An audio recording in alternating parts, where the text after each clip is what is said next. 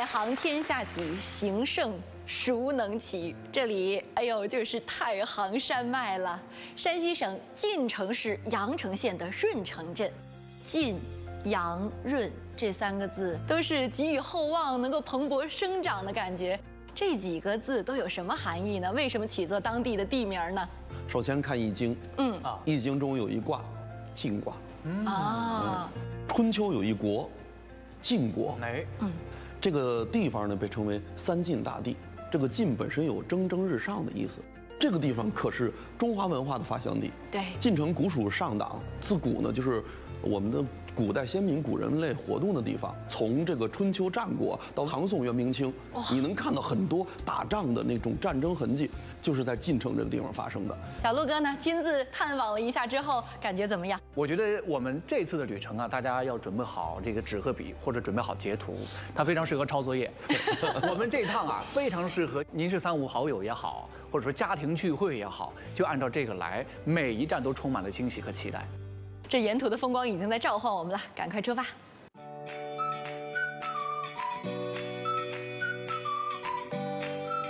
说到干锅两个字，你会想到什么？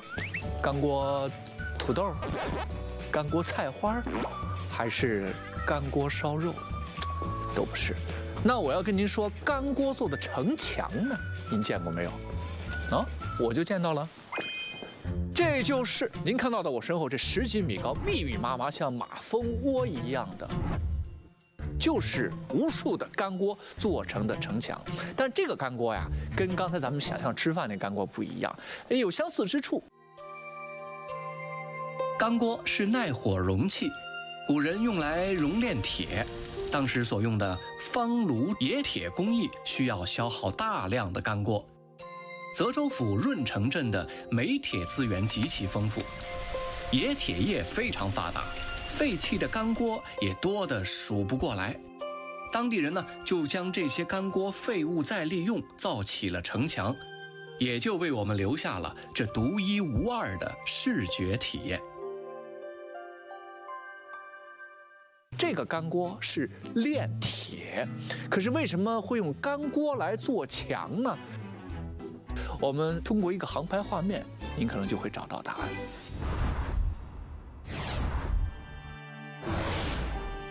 这座由干锅做墙的小城，名叫底季城，三面环水，呈半岛状，距今至少四百年的历史。在明代的时候，润城已经是全国的冶铁重镇了，这里云集了非常多的匠人和富商大贾。而到了明末清初的时候，天下大乱，这里的富商大贾呢，为了避免流寇的袭击，就要想办法铸造一个城墙。他们想来想去，夯土、石砖，这些都不好。我们有这么多堆积如山的干锅。它能经受住一千五百度高温的冶铁的历练，难道还扛不住风霜雨打和流寇的袭击吗？于是，他们就发挥聪明才智，把堆积如山的干锅加上河边的鹅卵石，变成了这样的固若金汤的城墙。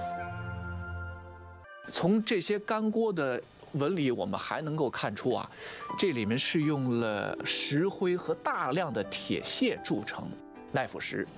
抗风雪，这也就是为什么几百年过去了，周围很多城堡、城墙都已经坍塌了。在经历过洪水、地震等等自然灾害之后，只有我们底继城的城墙仍然保留到了今天。这座罕见的拥有铜墙铁壁的坚固之城，与铁有着密不可分的关系。冶铁用的干锅铸造了这座小城。而他所在的润城镇，在明朝时就曾专门为皇宫生产铁壶。时光虽然远去，制造铁壶的技艺却在传承延续。我们找到了当地的一位铁壶制作技艺非遗传承人，带我一同寻找这铁的奥秘。您给我们介绍一下，呃，这个地方和铁的渊源是怎么样的？这个渊源特别的久远，在两千多年前春秋战国时期啊，第一把铁鼎就出自于我们晋城地区，哦，它是一个非常重要的礼器。那到了明清时期呢，我们这里是一个生产兵器的地方，所以说我们在很早的时候就开始生产了，慢慢一直到现在。一脉相承、流传千年的冶铁技术，将所有历史的能量注入一把小小的铁壶中。近年来，铁壶再次流行，用它烧水煮茶成为了一种新的风潮。更有人将它作为珍品收藏。如今，这把铁壶可是大有来头，不仅饱含非遗技艺，而且制作难度极高。那它究竟经历了些什么呢？这个哇很轻，大家看到的这个啊，如果你从远处看，像是一把紫砂，或者说泥壶，对，但其实它是蜡的，颜色有点一样啊。为什么要要做一个这种蜡的这种壶的样子呢？因为我们的工艺啊，核心的叫做湿蜡法，湿蜡法，嗯，是通过壳子里面把这个蜡膜给湿去，再浇入铁水。我们的蜡膜修得越好，我们的铁壶就会越漂亮。也就是说，这个蜡的现在这个模具的样子的精细度，对，决定了最后这个铁壶出来的样子。对，是这样。一块铁矿石想要蜕变为一把充满韵味的铁壶，需要经历六十八道工序，四十五天的时间。这还要从它的源头湿蜡法说起。湿蜡法起源于春秋时期。将蜡制造成形器的样式，再将耐高温的细泥浆淋在蜡型表面，将粗细沙撒在泥浆表层，反复多次形成完整的形壳。开灶后加温使蜡溶出，形成形腔。接着浇入高温铁水，再经过去壳、打磨、上色等工序，一件精美绝伦的铁壶才能展现在我们的眼前。在制蜡时，首先要经过雕刻和开模，在得到的模具里倒入液态蜡并摇动，使蜡完整而均匀地覆盖在模具内壁，之后进行精细修蜡。其实，在古法里面，我们古语我们会把这一步叫做婶婶们的修蜡，意思也就是这一步非常重要，也只能交给自己的这个至亲的婶婶们。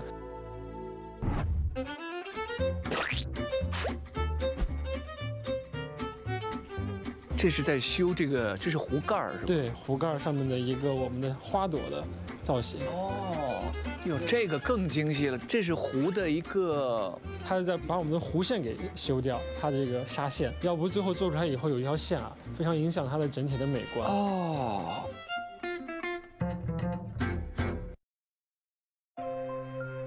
湿蜡法属于精密制造，尺寸精度和表面光洁度更高。想要把蜡模修得浑然天成，可并不简单。有时候，一个修蜡工一天就只能修一把壶。咱说这么多，要不您试一下吧，小卢哥，上手感受感受。这个一定得上手体验一下，是才能感觉到。来一个是吧？哟，这么多！你看，有这种小刀似的，全都是自己做的。还有这种小钩刀，像小镰刀一样。对啊。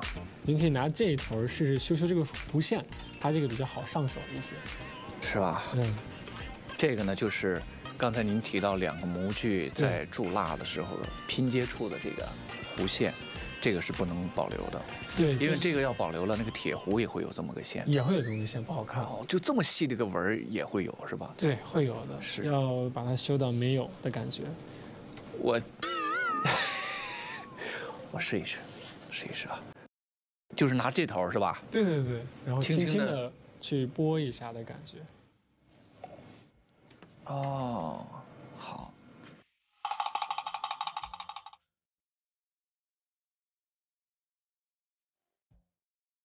我觉得这个啊，别看我做了这么两下，我就觉得这是一个特别修炼耐性的一个工作，你得耐得住，得坐得住。我也知道为什么让婶婶来修蜡了。希望他后面一切顺利，一切顺利。所以，呃，你这每一刀下去，你的呼吸都要跟着去调整，不能太急躁。有可能一急躁，因为这刀还挺锋利的，对，它有一个豁口，整个这就，而且这就废掉了。因为修完以后都会有一个老师傅啊来检查检查 OK 不 OK，重量达标不达标，然后老师傅一看这个还不对，打回去再重修，得精益求精，对，很严格，一眼就因为这里会决定后面的，这里就没做好了，后面就不能做了。哎，是是是。像这个模具上啊有这种小蜡孔，我们就得用这个是吧？对。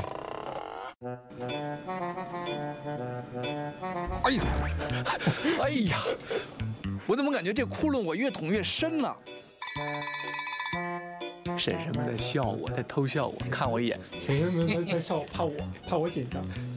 反正咱俩都是被他们审视的，婶婶在审视我们。修蜡不仅考验耐心，工匠还要具备相当高的审美判断力，才能将湖面上的图案修复得流畅美观。我都不敢喘气了，看的特别精细吧？我当时每拿一下，旁边那几个大姐、那个婶婶就怕我给她弄坏了。这肯定，那都是心血。对，前面的心血就可能就白费了。嗯，这个铁壶非常非常的复杂的一个工艺，咱不说九九八十一难。也是六十八道工序之后，才变成了咱面前的这把制作精美的。你可以管它叫做艺术品。我们能在身上感受到器物之美。我还是有点不明白了，刚才你手里那不是蜡吗？它是怎么样变成这样的呢？哦，带来了。这一把铁壶啊，要从咱们的这个古老的技艺施蜡法说起。先要做一个泥模，然后呢，在上面做一个硅胶的。模具在这个硅胶里面注入蜡，我们就得到一个刚才你们看到的这样的一个蜡的模具，精打细磨，磨完之后呢，蘸上所有的里里外外的这样的砂石，嗯，就变成了现在这样，啊，高温烧制蜡嘛，遇到高温之后它就失去了，就失蜡法，但是保留了蜡模具里面的这些沟沟壑壑，注入融化的一千五百度的铁水。铁壶就出来了，所以你看它工序非常非常繁我这还是就是极简化的跟大家表达了这个。嗯，所以这个做铁壶如果有一步不慎，呃，就满盘皆输。所以在过去他们都是这种家族的作坊。嗯，呃，比如说这个是舅舅制壳，叔伯泼蜡，婶婶修蜡，父子浇铸。因因为最后这个浇筑是非常非常关键的，嗯，要值得信任的那个人。你像一千多度的铁水，万一稍有闪失，这个失败了，就是这么一个非常复杂的一个过程。这样的技艺传承了千百年，其实真的是当地的制铁工艺能够见证咱们国家的一个冶铁历史。接下来咱们再跟着小鹿哥回到片子里面，看看浇筑过程有没有什么奇妙的事情呢？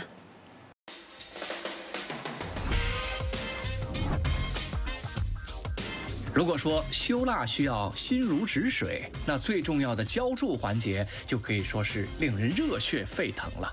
将铁水加热到近一千五百度，再浇筑在壳中，填充原先蜡占据的位置。铁壶在这个时候极易损伤，往往一把壶的成败在这一刻才能见分晓。有裂痕和壁厚不统一的，都要丢弃掉重做。通常制作铁壶的成功率只有百分之三十。浇铸这一步是制作铁壶的第几步？最后一步吗？呃，不是，但是是尾期最重要的一个工作。这个砂壳啊，它有八九百度，然后直接去浇入一千四百度的铁水。面对高温铁水，需要工匠具备非常好的协同性。当地有着父子浇铸的说法。父亲放置八九百度的沙壳，儿子浇入一千四百多度的铁水。浇铸过程中，如果太快，沙壳内部纹路会被冲刷掉；如果太慢，铁壶的纹路就不清晰。所以这一环节需要保持铁水温度匀速、稳定的注入。现在这些一千四百度的铁水在驶向它的终点站，随着时间的变化。它自己的性质也在发生变化，将会由液态的金属逐渐冷却，变成了固态的铁器。对，砂壳冷却后，还要通过轻砂、打磨、着色等环节，让铁壶露出这最终的面目。一把铁壶的完成，至少需要经过三十多位师傅之手，通过每一位师傅的古法制作，这每一把铁壶上都有了他们的温度。也正因为如此，这铁壶才有了。自己的生命。一把精致的铁壶从炙热的铁水中来，而这溶于一炉滚烫的铁水，还能创造另外一种绚烂璀璨。打铁花这项技艺始于北宋，盛于明清，至今已有千余年的历史，与当时的炼铁业和民间信仰息息相关。在明代，炼铁业蓬勃发展，铁匠们为了庆祝丰收、祈求平安。将炼铁过程中产生的铁水进行打击，创造出璀璨的火花效果。刚刚老师傅浇筑铁水的画面您看到了，这一千四百多度的铁水稍有不慎就会像烟花一样炸开。或许是我们的匠人师傅们发现了铁水炸裂的这种美感，于是他们把这种稍有不慎演化成了。肆意挥洒，就这样，另外一项民间艺术诞生了，它就是打铁花。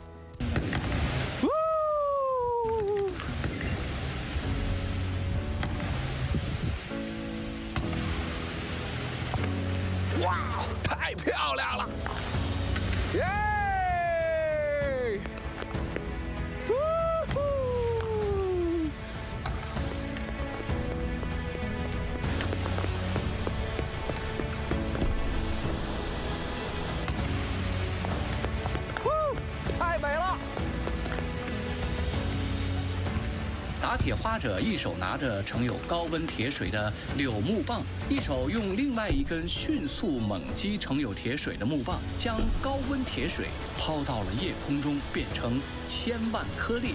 在空气中，高温铁水和氧气反应燃烧，发出耀眼的光华，如流星似瀑布倾泻下来。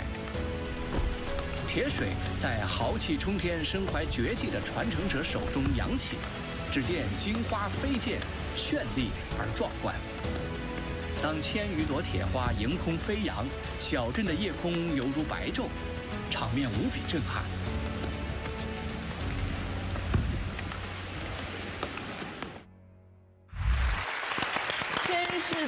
漂亮了！不知道观众朋友有没有和我一样，观看打铁花的时候默默许下了心愿？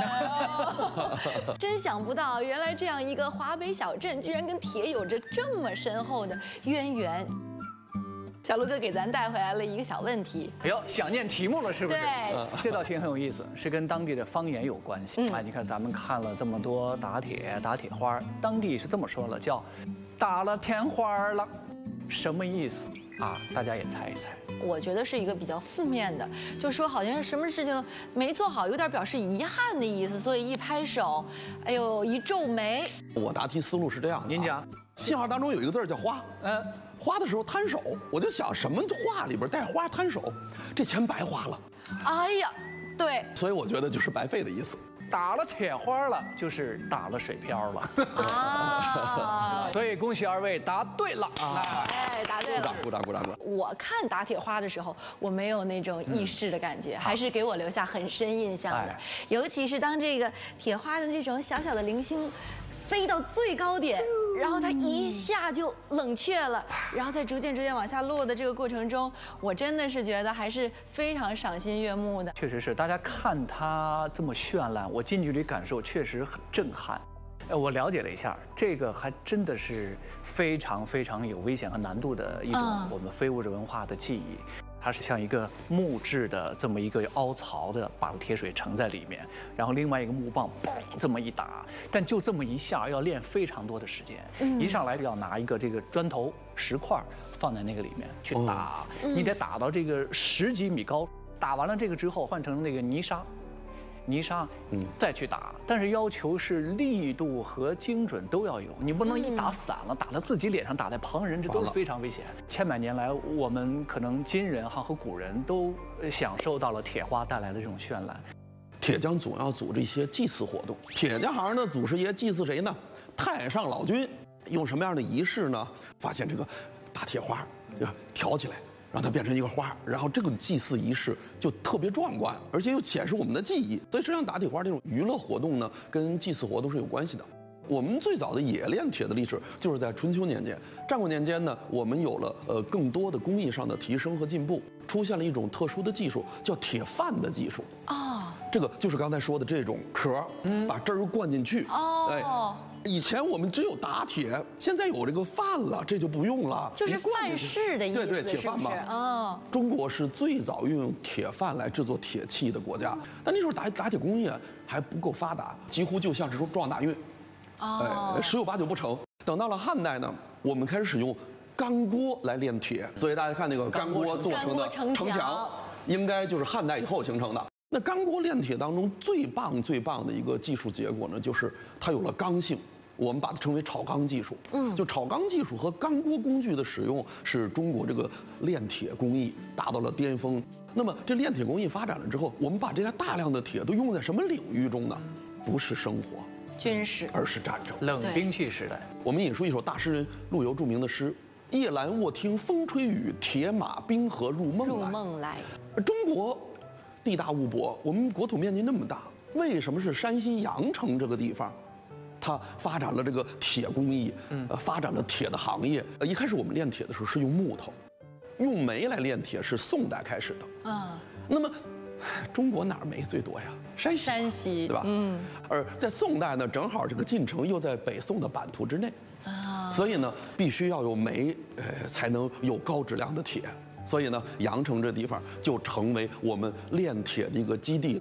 其实，炼铁不光能够形成产品，还能铸造人格。铁匠在打铁的过程中，要有力量，要有耐心，要胆大心细，要坚韧果决，要有艺术家的修养，同时要有战士的力量。啊。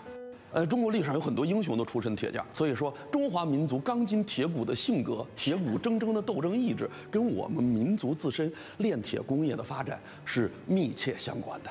包括晋城现在的很多城市的地方的命名，嗯，都仍然我能看到与铁匠相关的这些名字和痕迹。对，炉野之火是在此地熊熊燃烧，这样的火见证了多少岁月，里面有多少人的往事。我们像赵老师说的，随着冶铁技术，呃，我们的这种实用慢慢演化出来的一种艺术的展示，对，充满了它独特的这种历史的人文的魅力，嗯，大家一定可以去感受一下。所以很多时候咱们去不同的地方，你看有的非遗技艺，它会呈现出真真实实、扎扎实实的一件工艺品，我们可以带回去。现在呢，也有很多由这些在它逐渐逐渐产生的过程中所引发出的不同的分支，又形成了非遗的表演。展示，让大家也能近距离的体会。大家看看这个精美的铁器，看看壮观的打铁花，你会有一种哲学上的收获，就是最美好的事物要经过最痛苦的酝酿。